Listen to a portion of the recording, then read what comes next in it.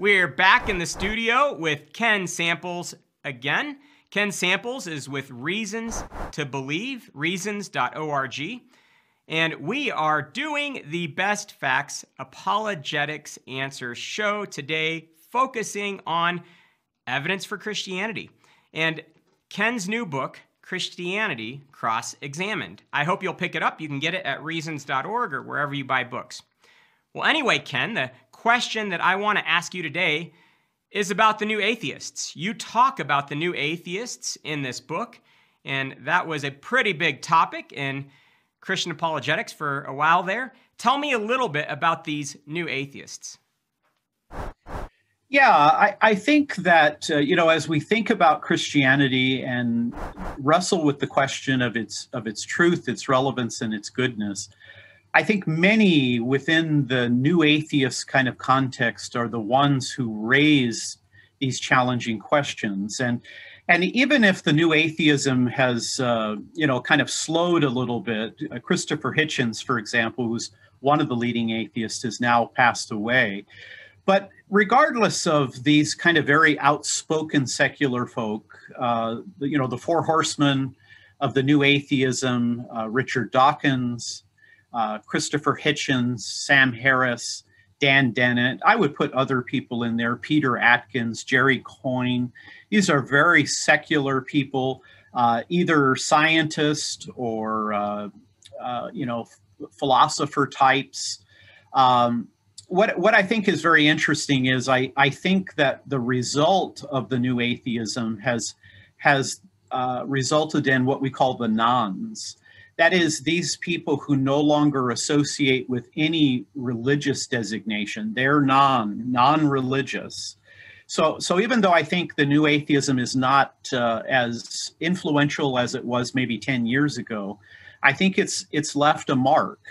Now, again, I'd like to make the case that for me, there are, there are kind of two atheist varieties uh, in my own experience. I was I began studying philosophy in the late 70s, the early 80s.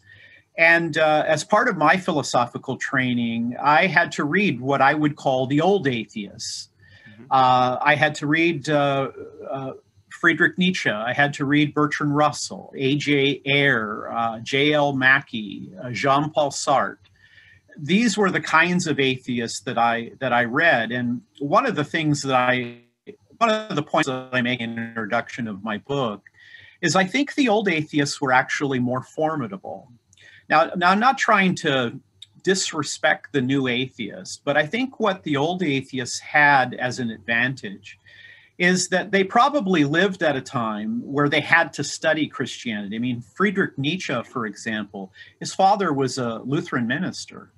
Uh, he knew Christianity, and and I think sometimes because of their knowledge of Christianity, they know the arguments. They also know the the sensitivities or vulnerabilities of Christianity. For example, Nietzsche used to say, well, if you want me to believe in your Redeemer, then why doesn't the church act a little more redeemed? I think that uh, J.L. Mackie in his book, um, uh, The Miracle of Theism, I think it's a very formidable presentation. Now, ultimately, I don't think any of these atheists are persuasive, but I think that the old atheists they they wanted to reason and argue and they knew a lot about christianity i think with the new atheists one of their flaws uh, or two of their flaws if you will is one they don't know a lot about christianity i don't know how many of them have read st augustine or st thomas aquinas or uh, richard swinburne or alvin plantinga or william lane craig uh, but more than that they often use kind of sarcasm and satire and ridicule. I was watching a debate that was held a number of years ago. Uh, it was between uh, Christopher Hitchens and Alister McGrath. Dr. McGrath is, is a, an incredible Christian thinker. I think he has three doctoral degrees, all from Oxford University. Uh, one is in science, uh, one is in uh, divinity, theology, and the other is in intellectual history. Well, he had a debate with Hitchens. And um, McGrath is a gentleman. He doesn't interrupt. He doesn't talk over people. He's not looking to kind of go on the attack.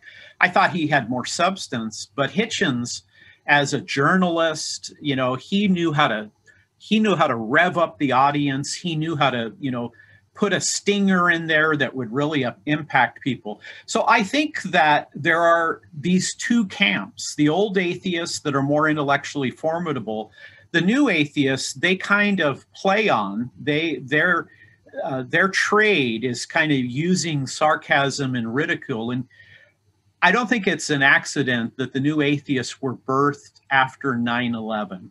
Hmm. They saw what happened with radical Islam and death by people in the name of God, and that that really lit a fire, if you will. I know after that time there was this push that all religion is bad, but many of these people recognize the fact that Christianity is truly good. When we think about global social issues, no worldview has come anywhere near the good that has been brought about by Christianity.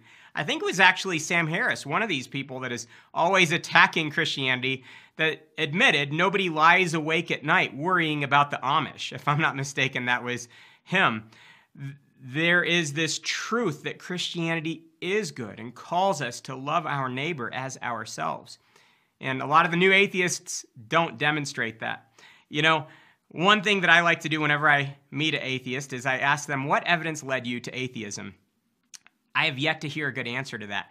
Some of these new atheists, like Dawkins, have tried to put forward some positive arguments for atheism. I think they've been extremely weak. Uh, William Lane Craig, who you mentioned, demolished Richard Dawkins' entire God delusion book in three or four pages, just dismantled the logic of that book. So I think these new atheists, like you said in our past question, are a lot more angry than logical. Thanks for clearing that up.